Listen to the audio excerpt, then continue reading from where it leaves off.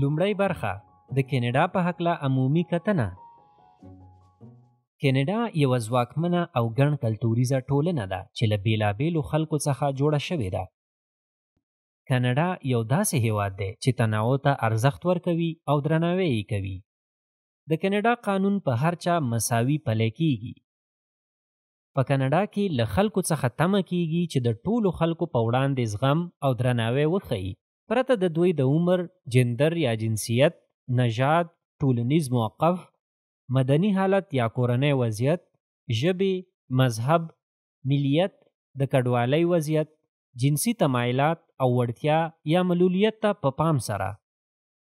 تبعیض خلک د هغو کارونو څخه راګرځوي چې نور یې په آزاده توګه ترسره کولی شي. د چا په وړاندې تبعیض کول په دې معنا دي چې د نورو خلکو په نسبت د هغوی سره نامساویانه چلند وشي او د خلکو په نظر یو منفي عمل ښکاره شي. له نورو سره د دوی د هویت پر بنسټ ناوړه یا غیر عادلانه چلند کول د کاناډا د قانون پر بنسټ یوه غیر قانوني کړنه ده. په کاناډا کې خلک مني چې تبعیض شتون لري سره له دې چې کاناډا یو ګڼ کلتوریز او منل شوی ځای دی خو بیا هم په دې هیواد کې له هرو پنځه کسانو څخه یو کس تبعیض تجربه کړی دی تبعیض کله کله د تاو تریخوالي لامل کیږي له تاو تریخوالي ډک تبعیض په کاناډا کې عام نه دی مګر دا د قانون څخه جدي سرغړونه ده تبعیض کېدای شي په مختلفو بڼو رامنځته شي. کله کله د تبعیض پېژندل اسانه وي، خو کله کله ډېر پټ وي. د تبعیض ځینې مثالونو ته وګورئ. تاسو د کوم هېواد یاست؟ بېرته کور ته ستانه شئ. د تابعیت پر بنسټ تبعیض. زموږ ټیم لوبغاړو ته اجازه نه ورکوي چې خپل سر پټ کړي. تاسو نه شئ کولی لوبه وکړئ. د مذهب پر بنسټ تبعیض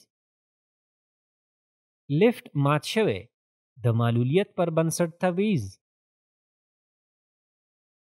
دوه سړي په عام محضر کې لاسونه نیسي بې شرمه تبعیض د دې پر اساس چې تاسو له چا سره مینه لرئ یعنی جنسي تمایلات ښځې دا دنده نشي ترسره کولی د جنسیت پر بنسټ تبعیض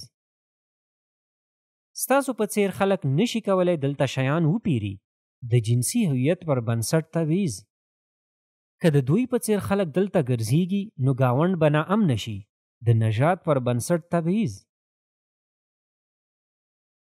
تویز کېدای شي د ورځې د کړنو بڼه خپله کړي لکه غیر مستقیم سپکاوی او نیمګړتیاوې په ګوته کول ځینې دا ډول سپکاوي په لاندې توګه دي د یو ساده شخص په توګه ورسره چلند کول د مشکوک شخص په توګه چلند ورسره کېږي. د خدماتي کارمند په توګه تېروتنه یا خدماتو ته د لاسرسي پر مهال د یو کس سره غیر عادلانه چلند کول. په کاناډا کې تاسو حق لرئ په درناوي سره د هغو شرایطو یا کړنو په اړه وپوښتئ چې تاسو احساس کوئ چې تبعیض لري. په کاناډا کې د تبعیض د اداره کولو په موخه لاندې وړاندیزونه وګورئ.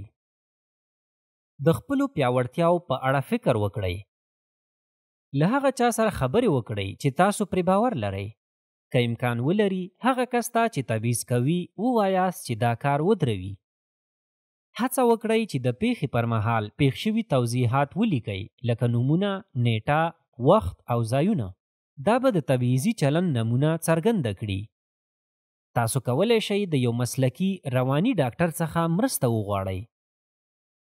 تاسو کولی شئ د لارښوونې لپاره د ځايي پولیسو د غیر عاجل تلیفون شمېرې سره اړیکه ټینګه کړئ.